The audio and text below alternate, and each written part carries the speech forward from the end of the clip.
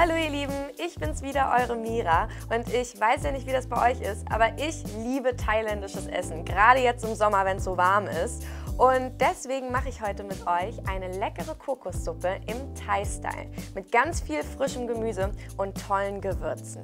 Dank unserer Kooperation mit Euronics durfte ich mir wieder einen Küchenhelfer aussuchen. Und meine Wahl ist diesmal auf den braunen Multiquick Stabmixer gefallen, weil was ich am meisten liebe, wenn ich beim Thailänder essen gehe, ist dieses ganze Gemüse, das in so schöne Formen geschnitten ist und einfach so, so hübsch aussieht. Und deswegen zeige ich euch heute eine Methode, wie ihr das ganz easy machen könnt, ohne dass wir hier jetzt stundenlang in der Küche stehen und rumschnippeln müssen. Ich habe mich heute für die vegane Variante mit Tofu entschieden, aber ich kann euch über die nächsten Schritte auch erklären, wie ihr das Ganze mit Fleisch oder mit Fisch machen könnt. Den Tofu, den schneiden wir jetzt in mundgerechte Stückchen oder ihr könnt ihn auch in Scheiben schneiden. Und dann müssen wir dafür sorgen, dass der ein bisschen seine Flüssigkeit verliert und dafür wickeln wir den gleich in ein Tuch und drücken den ein bisschen aus. Viele schimpfen ja immer, dass Tofu nach nichts schmeckt. Aber das stimmt überhaupt nicht. Tofu kann super, super lecker sein und das beweise ich euch heute. Dafür müssen wir aber unbedingt dafür sorgen, dass der Tofu richtig schön trocken ist. Und dafür habe ich dann hier ein Tuch und damit werden wir den Tofu gleich richtig schön ausdrücken. Am besten ist es, wenn ihr den Tofu wirklich über mehrere Stunden trocknen lässt, lasst damit ähm, der wirklich so richtig, richtig viel Wasser verliert. Denn dann kann er erst so richtig das Aroma aufnehmen, mit dem wir ihn gleich marinieren wollen. Ich stelle das mal zur Seite. Während der Tofu noch ein bisschen trocknet, kümmere ich mich um die Marinade. Dafür habe ich hier lauter tolle Sachen. Ich habe hier Koriander und Zucker, Frühlingszwiebeln kommen noch mit rein und auch Sojasauce, Knoblauch natürlich, ein bisschen Ingwer und Paprikapulver und ein bisschen Essig und Wasser. Und das Ganze wird dann richtig schön durchgemixt, damit die Aromastoffe gut durchkommen. Vielleicht ist euch aufgefallen, dass ich kein Öl für die Marinade benutze. Das liegt daran, dass sich das Öl auf die Oberfläche von dem Tofu legt und dadurch die Poren so verschließt und die ganzen leckeren Aromastoffe, die wir eigentlich im Tofu haben wollen, dann nicht so gut da eindringen können. Dann mache ich mir mal ein bisschen Platz und dann wird das Ganze jetzt hier püriert. So, jetzt schnappe ich mir mal den Mixer hier.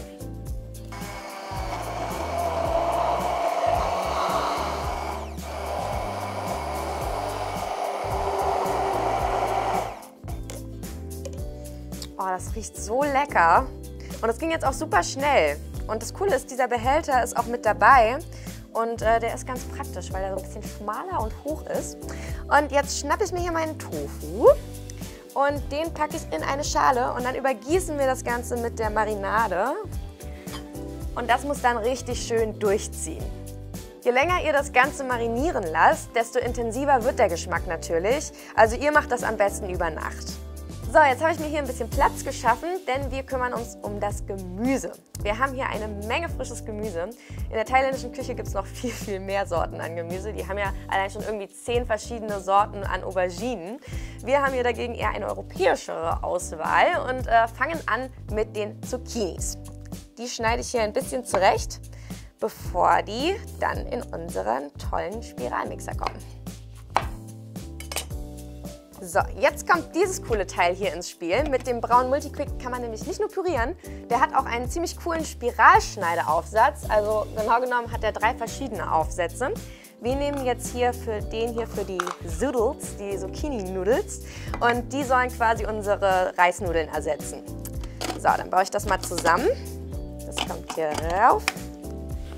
Das kommt hier dran.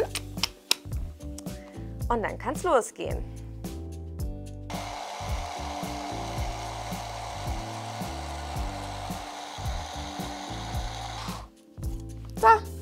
Fertig. Und übrig bleiben diese lustigen Hütchen hier. Muss ich mir noch überlegen, was ich damit mache. so, schauen wir mal rein. Oh, das sieht so hübsch aus. Guck mal.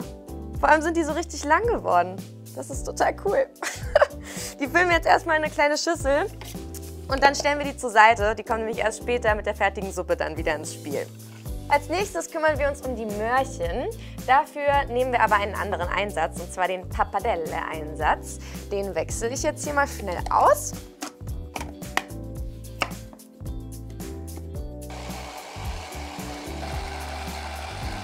So, Die Möhrchen sind auch fertig. Die stelle ich jetzt auch zur Seite. Und dann können wir den Weißkohl schneiden. Wenn wir den Weißkohl in so, so Scheiben schneiden, dann fällt der automatisch in so schöne kleine Streifen. Jetzt schneide ich hier den Strunk noch raus. Und wenn wir den Kohl jetzt hier so ein bisschen zerfleddern, dann seht ihr, haben wir ganz schöne Streifen. Und dann schneiden wir als nächstes die Paprika. Die Paprika kommt auch zur Seite. So, wir gehen langsam die Schüsseln aus. Und dann schneiden wir nur noch die Schalotten klein. Und dann geht es erst zur nächsten Etappe. So, ich schneide mir hier die Schalotten.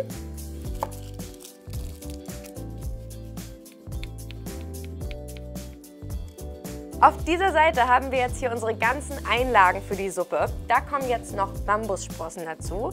So, das ist die Seite und darum kümmern wir uns gleich wieder. Jetzt müssen wir aber erstmal unsere Brühe aromatisieren. Dafür habe ich hier eine normale Gemüsebrühe, aber die soll ja den richtigen thailändischen Geschmack bekommen. Deswegen habe ich hier die ganzen typischen Gewürze und um die kümmern wir uns jetzt.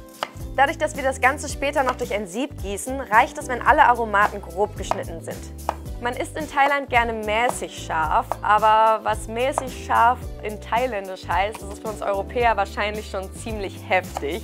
Deswegen müssen wir uns langsam an die Schärfe rantasten. Wenn ihr den Sud dann probiert und sagt, okay, das hat euch noch ein bisschen zu wenig Wumms, dann könnt ihr natürlich immer noch eine Chili mehr reinknallen. In Thailand wird grundsätzlich eher mit wenig Öl gekocht. Ich möchte aber meine ganzen Aromaten noch ein bisschen anschwitzen und dafür nehme ich etwas Kokosöl in meinen Topf. So, dann kommen die da einfach alle oben drauf. Und dann lasse ich das alles bei mittlerer Hitze so ein bisschen anschwitzen. Schaltet den Herd nicht zu hoch, denn wenn das alles zu schnell anbrennt, dann äh, schmeckt das nicht so gut, dann wird das schnell bitter. Aber ja, lasst das alles ruhig so ein bisschen, dass es unten am Boden anpappt, so ein bisschen so rösten. Wenn das anfängt hier im Topf schon alles so ein bisschen braun zu werden, dann könnt ihr das Curry dazugeben. Dann wird das Ganze mit der Gemüsebrühe abgelöscht. Das Ganze lassen wir jetzt so 20 Minuten köcheln. So, 20 Minuten sind um und die Brühe ist fertig. Das heißt, wir können jetzt abgießen.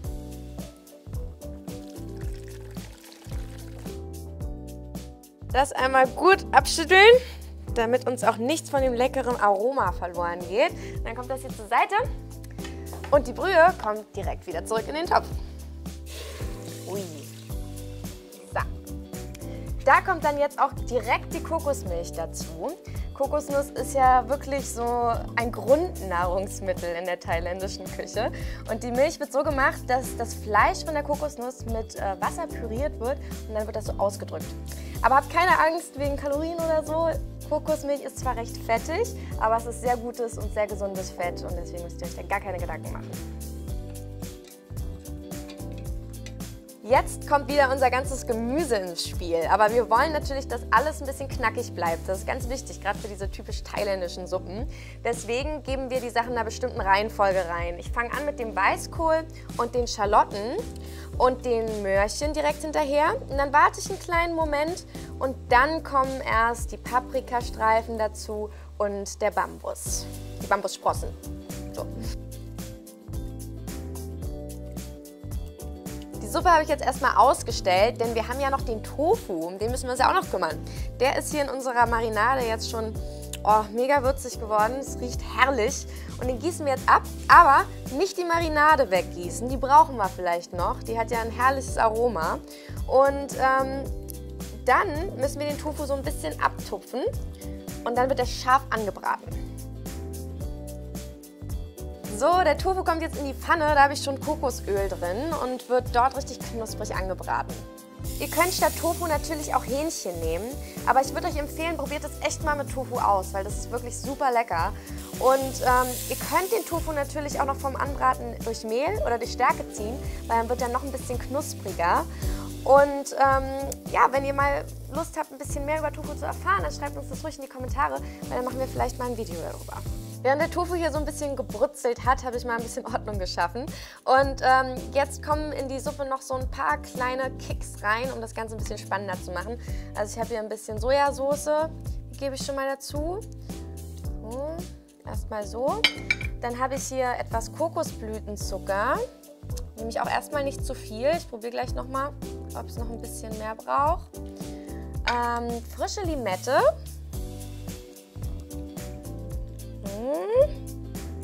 Hand drunter halten wegen der Kerne. Die wollen wir ja nicht in der Suppe haben.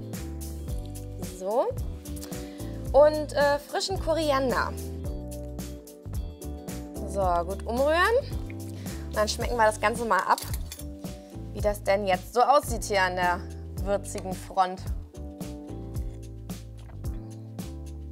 Mhm. Ja. Also einen kleinen Schluck Sojasauce würde ich ja noch reinmachen. So. Und von mir aus kann das Ganze auch noch so ein bisschen mehr Wumms haben, aber das muss jeder für sich selber entscheiden. Ich will euch da nichts vorschreiben. Und ähm, um das jetzt mal äh, zu erzeugen, probiere ich mal von Just Spices hier dieses Body Spice aus. Das äh, hat auch auf jeden Fall ein bisschen Ingwer, Chili drin und ähm, Pfeffer. Und deswegen äh, könnte das ganz gut passen. Das ist übrigens dabei, falls ihr euch einen Multi-Quick bestellt. Und auch dabei ist von Just Spices das, ähm, der Italian Allrounder, der Pasta Allrounder.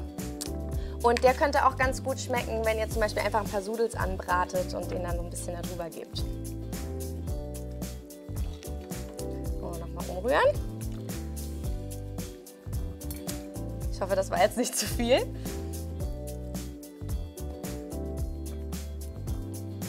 Mhm. Ja, schon scharf, aber so mag ich es auch. Gut, dann ist die Soße jetzt fertig, also die Suppe ist jetzt fertig. Jetzt kommen unsere Sudels wieder ins Spiel. Dann nehme ich mir eine schöne Schüssel, da kommen die dann frisch rein, dann kommt die heiße Suppe da direkt drüber, zusammen mit dem knusprigen Tofu. Für das richtige Thai-Feeling habe ich mir hier noch Stäbchen besorgt. Und ihr könnt auch gerne, wenn ihr das serviert, so ein kleines Stückchen frische Limette dazulegen. Das ist immer ganz schön, wenn die Leute sich das so frisch rüber träufeln können. So, und jetzt bin ich aber mal ganz neugierig hier auf unsere Zoodles. Die sind wirklich mega, mega lang geworden. Äh, ich kann euch nur empfehlen, wenn ihr das nachmacht, die vielleicht ein, zwei Mal zu durchschneiden. So, mal schauen. Mhm super frisch und knackig. Und es reicht wirklich, wenn man die einfach direkt mit der Soße übergießt, also mit der Suppe. So, und der Tofu.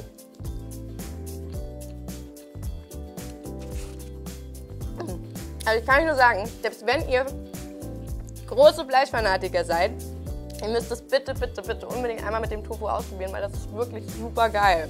Wirklich, es lohnt sich. So, wenn ihr mehr über den Multiquick Stabmixer von Braun erfahren wollt, dann schaut mal in unsere Infobox. Da habe ich euch den Trendblog von Ironics verlinkt, wo das Ding auch nochmal getestet wurde. Und wenn euch das Video gefallen hat, dann gebt uns unbedingt einen Daumen nach oben und abonniert uns. Also, bis dann. Tschüss.